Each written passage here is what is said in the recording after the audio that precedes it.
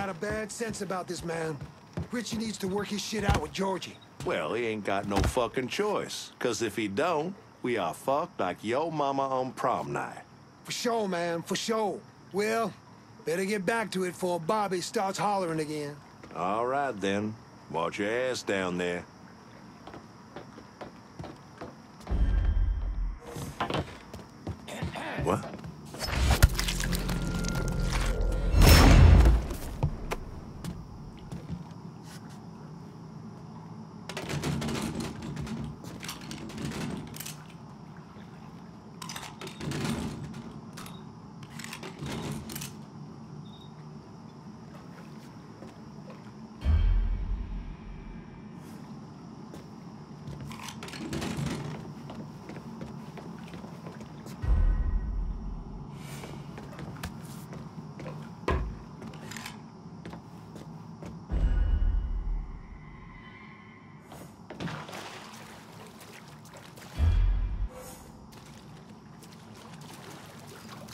Piss off that many niggers and not expect some kind of response. It's one coon. Fuck this. After all the fucking up Ritchie done, could be George's boys. Don't matter if it's one coon or 50 greaseballs. Only thing you worry about is the one motherfucker in front of you. I'm going. Holler if you see something.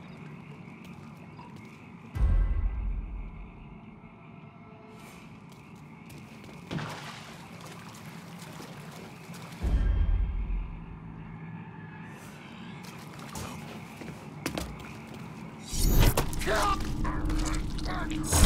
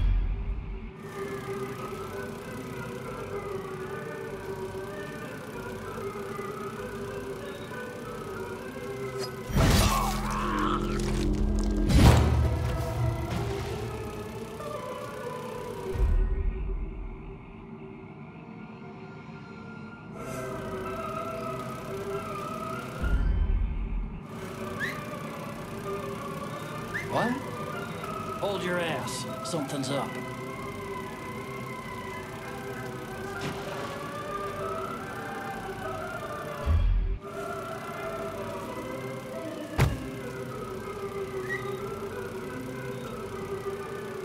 Let's try over here now.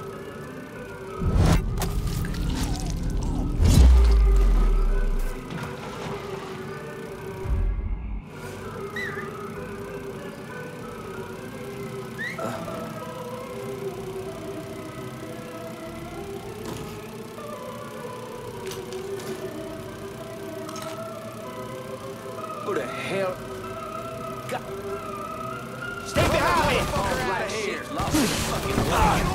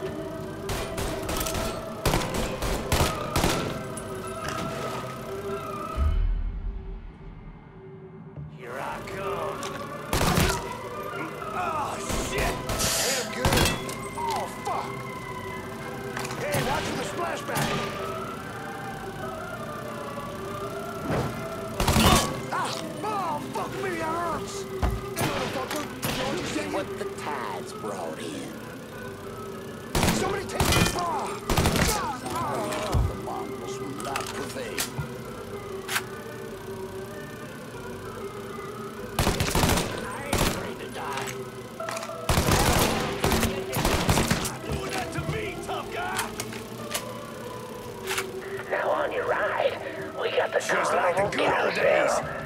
Nice God place have for mercy on you. Stay out of trouble. But if you're one of those adventurous types, you might want to head over and meet the meanest gators this side of the bayou on the crazy gator roller coaster. But be careful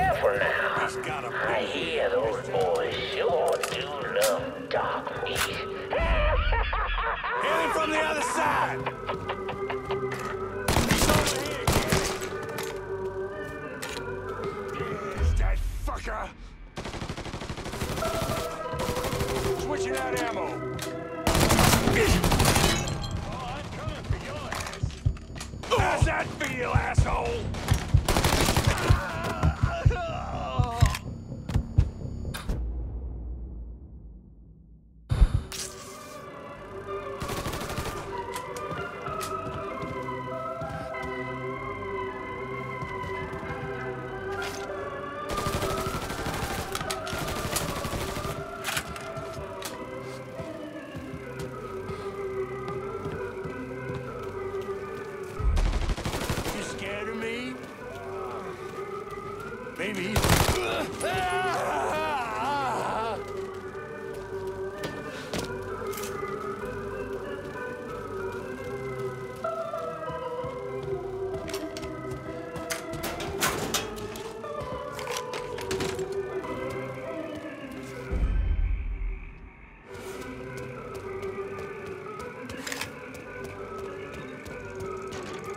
ほほほほ。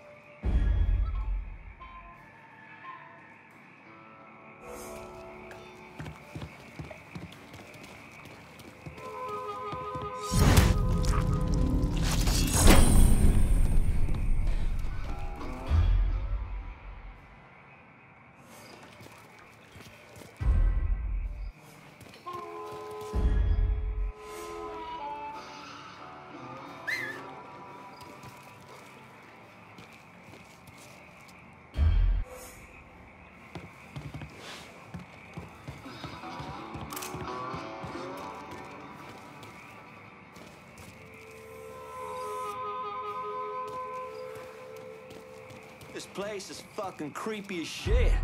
You go through that Bayou Beast ride? Ain't one for kiddie rides, but I do believe in the Rougarou. Are you serious? Road we're heading down with Ritchie.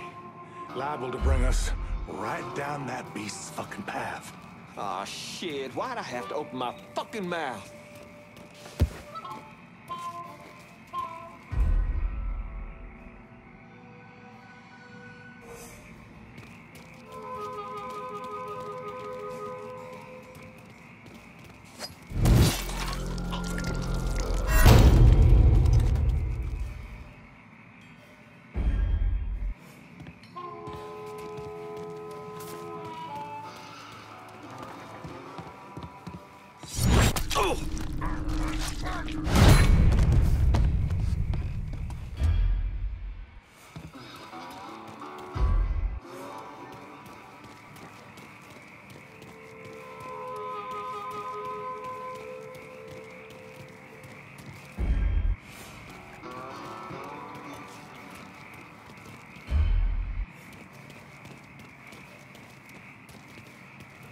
Yeah.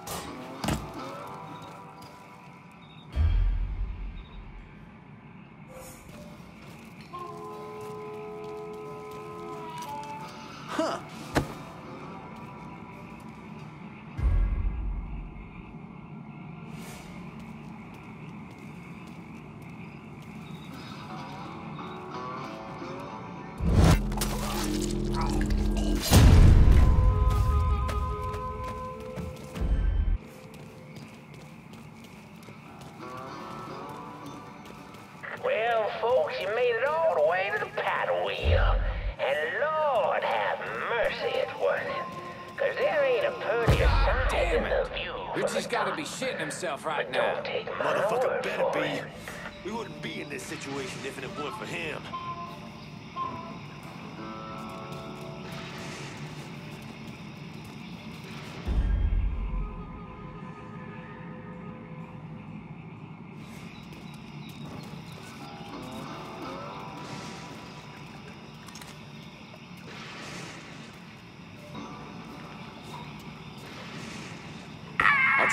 sound.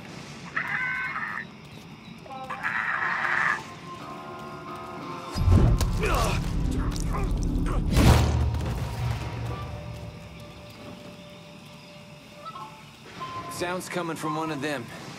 Goddamn voodoo dolls. Creepy ass shit. Don't step too close.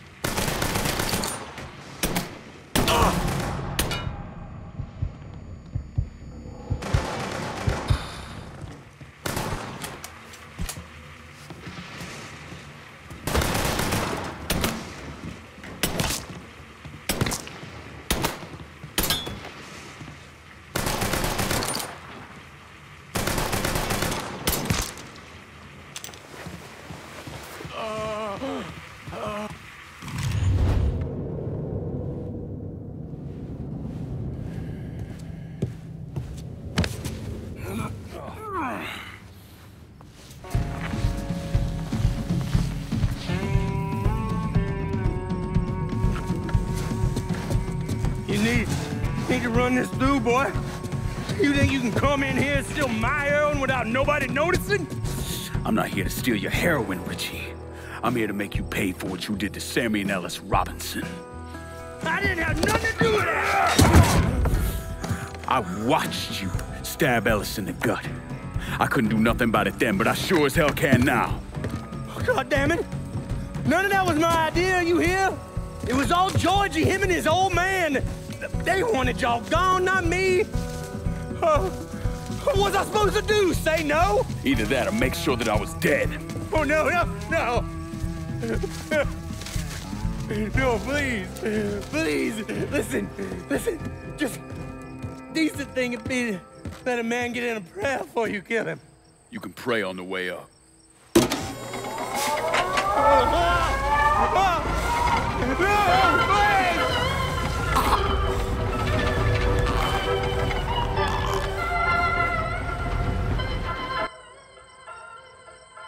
When I saw Ritchie Doucet hanging from that Ferris wheel, I felt a profound sense of disbelief. Nothing like this had ever happened before. You mobsters killed each other all the time, but it was generally a small, contained event. Some greaseball is eating spaghetti and meatballs at his favorite restaurant gets popped in the head. But this was different. Even then, even before I knew who killed him, I knew that Ritchie had been put on display. Lincoln was trained in psychological warfare by the CIA. He wanted to terrify the mob, wanted them to know he was going to kill every last one of them, and that none of them would be able to stop him.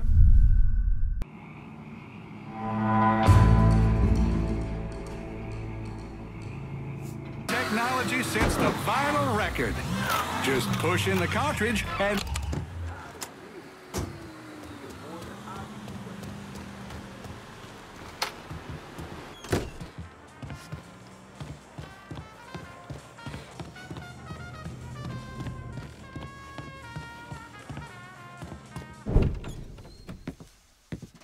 Doucet's dead.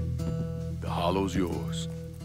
They say you strung him up on the old Ferris wheel. He killed Ellis.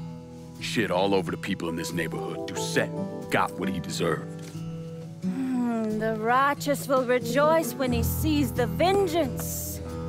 He will bathe his feet in the blood of the wicked. Hmm. That goes both ways, you know. Thought you said all that was behind us. My men are struggling with the notion that we now have to answer to the same men who killed Baka, who wiped out half our number. If I was them, I'd get over it. We don't have time to go around coddling people. Mm, of course not. But gestures carry weight. And if you were to help my man Emmanuel, that's a gesture that would go a long way in calming nerves. What's he need?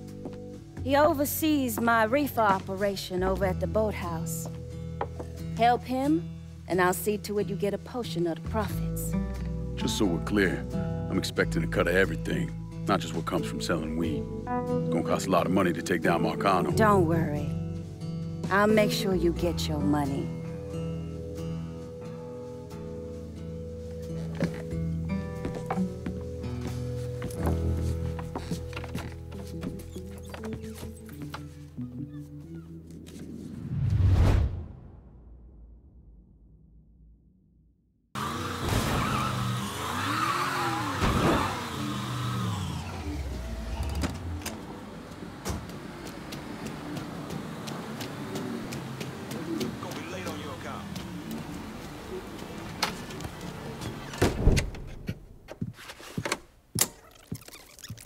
Come on. Problems? This goddamn thing keeps jamming up. If you're ready to see the other briefings, we can get started. Show me what else you managed to dig up. You got it. Two of the city's finest scumbags.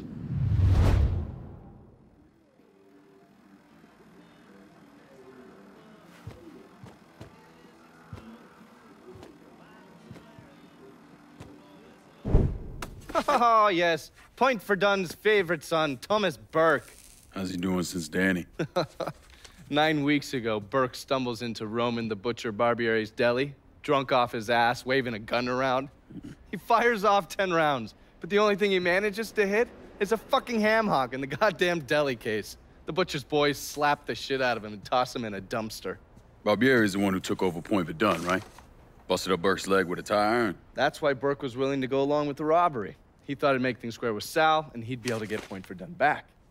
You always struck me as an asshole. Yeah, just like every other Irishman. But he hates Marcano as much as you do. Yeah, all right. Least I can do is give Danny's old man a chance for a little payback. Oh, fucking hell. He's been spending his time in a dive bar up in Pointe Verdun. Duffy's, it's called. Shouldn't be too hard to find. Yo, you better be worth all this trouble.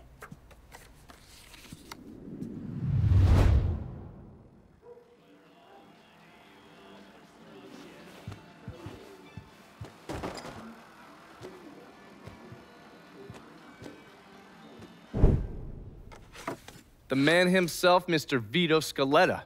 You gotta be shitting me. Last couple months have been pretty tough on old Vito. Sal's always hated him.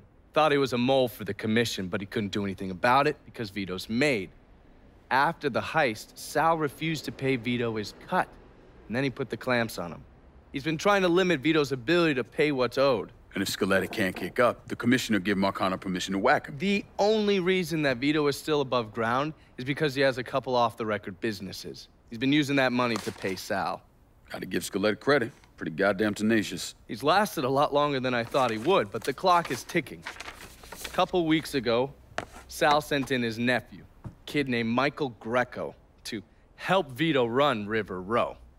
Greco's been using his guys to limit what Vito can do, where he can go. Once he has Vito completely boxed in, he'll make his move. Scaletta has to know what Greco has planned. I'll pay him a visit. See if I can leverage this thing with Greco to bring Scaletta around to my way of thinking. I'm sure I'll appreciate your concern.